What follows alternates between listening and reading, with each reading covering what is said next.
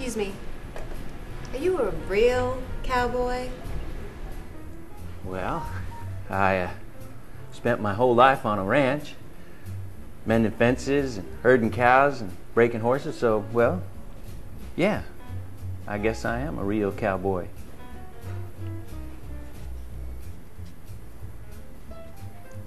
Excuse me. Now you know what I am.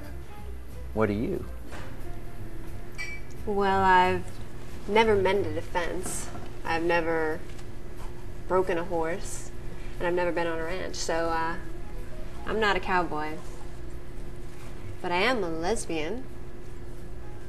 I love kissing women's soft lips and running my hand over the curve of their breasts and their hard nipple.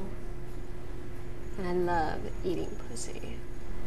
I love the smell of it and the taste of it. It's all I think about all day long. I love it. See you, cowboy. Excuse me. We were just wondering, are you a real cowboy?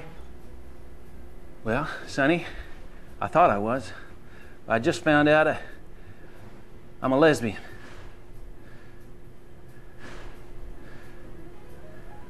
Check, please.